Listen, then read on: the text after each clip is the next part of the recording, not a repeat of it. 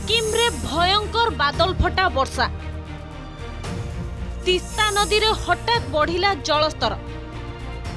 ভয়ঙ্কর বন্যারে ভাসিগলে তেইশ জবান সেনে ক্যাম্প সহ ভাসিগলা বহু আর্মি যানবাহন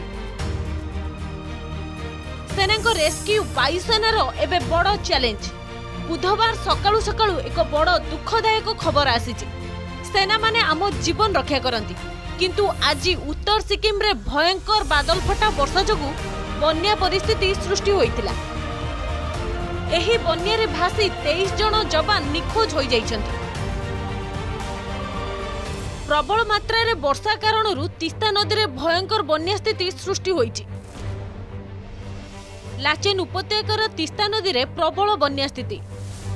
এই কারণ উপত্যকার কিছু সামরিক প্রতিষ্ঠান প্রভাবিত হয়েছে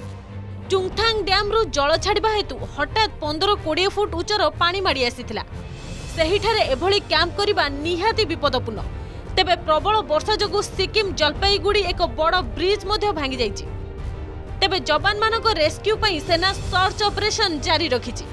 ଯବାନଙ୍କୁ ଜୀବିତ ଅବସ୍ଥାରେ ଉଦ୍ଧାର କରିଯିବାକୁ ସମସ୍ତେ ପ୍ରାର୍ଥନା କରୁଛନ୍ତି ପରିସ୍ଥିତି ବିଷୟରେ ସୂଚନା ପ୍ରଦାନ କରି ପ୍ରତିରକ୍ଷା ପିଆର୍ଓ କହିଛନ୍ତି ଯେ ଚୁଙ୍ଗଥାଙ୍ଗ ଡ୍ୟାମ୍ରୁ ଜଳମୁକ୍ତ ହେବା କାରଣରୁ ହଠାତ୍ ଜଳସ୍ତର ବୃଦ୍ଧି ପାଇଥିଲା ଏହା ଏକ ବଡ଼ ପ୍ରାକୃତିକ ବିପର୍ଯ୍ୟୟ କୁହାଯାଉଛି ଯେ ସିଂତାମ ନିକଟ ବରଦାଙ୍ଗରେ ପାର୍କିଂ ହୋଇଥିବା ସେନା ଗାଡ଼ି ବନ୍ୟାରେ ଭାସି ଯାଇଛି ଏଥିରେ ବନ୍ୟା ଯୋଗୁଁ ସେନା କ୍ୟାମ୍ପ ମଧ୍ୟ ପ୍ରଭାବିତ ହୋଇଛି ନିଖୋଜ ଯବାନଙ୍କୁ ଖୋଜିବାକୁ ଆଉ ଦୁଇରୁ ତିନି ଘଣ୍ଟା ସର୍ଚ୍ଚ ଅପରେସନ୍ ଜାରି ରହିଛି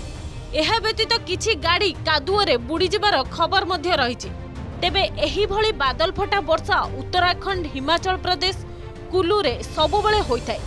ଏହିଭଳି ବର୍ଷା ହେଲେ ହଠାତ୍ ପାଣିର ପ୍ରଖର ସୁଅ ମଧ୍ୟ ବଢ଼ିଯାଏ କେଦାରନାଥରେ ମଧ୍ୟ ଏଭଳି ବାଦଲ ଫଟା ବର୍ଷା ଆଗରୁ ବହୁ ଲୋକଙ୍କ ପ୍ରାଣ ନେଇଛି ତେବେ ଏଭଳି ବର୍ଷା ସବୁବେଳେ ସାଙ୍ଗେ ସାଙ୍ଗେ ହୋଇଥାଏ ଚଳିତ ବର୍ଷ ମଧ୍ୟ ମୌସୁମୀ ବର୍ଷା ହିମାଚଳ ପ୍ରଦେଶ ପାଇଁ ଅଭିଶାପ ପାଲଟିଥିଲା ବାଦଲ ଫଟା ବର୍ଷା ହେବା ଯୋଗୁଁ ପାଖାପାଖି ତିନିଶହ ଷାଠିଏ ଜଣଙ୍କର ମୃତ୍ୟୁ ହେବା ସହ হাজার হাজার ঘর নিশ্চিহ্ন হয়ে যাই তেবে আজির যে ঘটনা হয়েছে সেঠারে সেনা ক্যাম্প রহবা আদৌ গ্রহণযোগ্য নুহে ব্যুরো রিপোর্ট অর্গস নিউজ